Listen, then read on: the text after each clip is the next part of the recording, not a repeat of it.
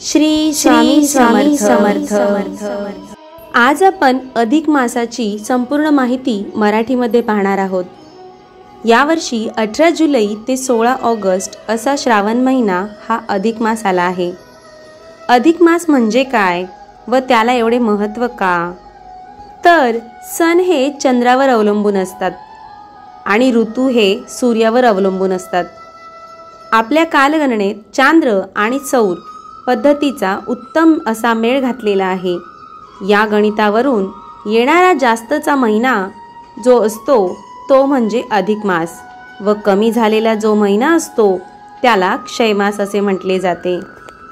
सूर्य एका राशीमध्ये असताना जर दोन चांद्र महिन्यांचा प्रारंभ झाला तर पहिला येणारा महिना जो असतो तो अधिक मास असतो व दुसरा तोच असणारा महिना हा निजमास असतो.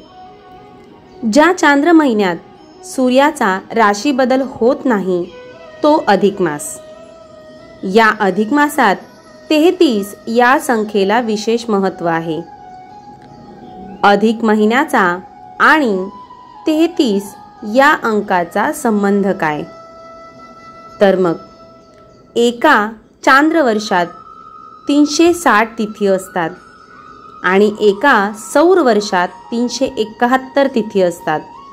म्हणजेच प्रत्येक चांद्रवर्ष हे सौर वर्षापेक्षा अकरा तिथीने लहान आहे.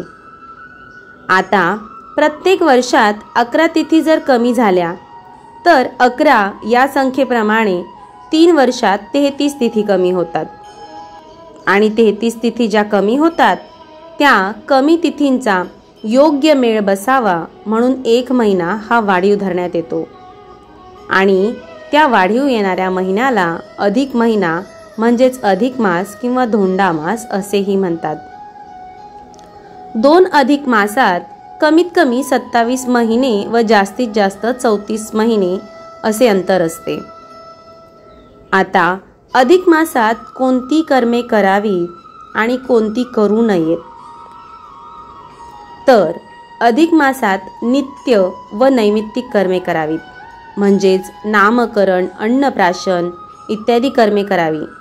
परंतु देवप्रतिष्ठापना चौल उपनयन विवाह संन्यासग्रहण वास्तुशांती गृहारंभ इत्यादी कर्मे करू नयेत असे शास्त्रात सांगितलेले आहे.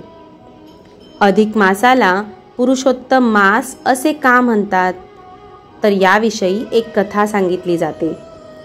अधिक मासाला धोंड्याचा महिना अथवा मलमास असेही म्हटले जाते. कथा ऐका. या महिन्यात शुभ कार्य केली जात नाहीत. फक्त नैमित्तिक कार्यच होतात. याचे या अधिक मासाला खूप वाईट वाटले. म्हणून एकदा हताश निराश आणि दुःखी झालेला अधिक मास हा श्री विष्णूंकडे गेला. व आपली निराशा सांगितली. श्री विष्णूने अधिक मासाला श्रीकृष्णाकडे पाठवले. श्रीकृष्णाने मात्र अधिक मासाचे स्वागत करून त्याचे पुरुषोत्तम मास असे नाव ठेवले आणि सांगितले हा सर्वोत्तम मास आहे. लोक या महिन्यात जास्त दानधर्म करतील व त्यामुळे हा मास पुण्यकारक मास म्हणून ओळखला जाईल. म्हणून याला अधिक मास अथवा पुरुषोत्तम मास असे नाव प्राप्त झाले. अधिक मासात विष्णू पूजनाला प्राधान्य आहे. तसेच अपूपदान देण्याची पद्धत आहे. अपूप म्हणजे जाळीदार पदार्थ उदाहरणार्थ अनारसे बत्तासे मैसूर इत्यादी. वेदकाळात सुद्धा न पुयते विषयंती इति अपूप असे वर्णन केलेले आहे. गहू किंवा तांदळाच्या पिठात तूप व गूळ मिसळून केलेला विशेष पदार्थ म्हणजे अपूप म्हणजेच अनारसा.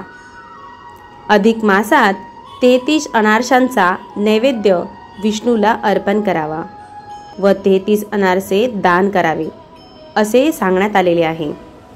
विवाह समारंभात कन्यादानाच्या वेळी जावई व मुलगी यांना विष्णू व लक्ष्मी स्वरूप मानून माता पिता त्यांना नमस्कार करतात. त्यामुळे जावई हा विष्णू समानच असतो. म्हणून विष्णुरूपी जावयाला तेहतीस अनारसे दान देण्याची पद्धत आहे. किती महिने अधिक येतात?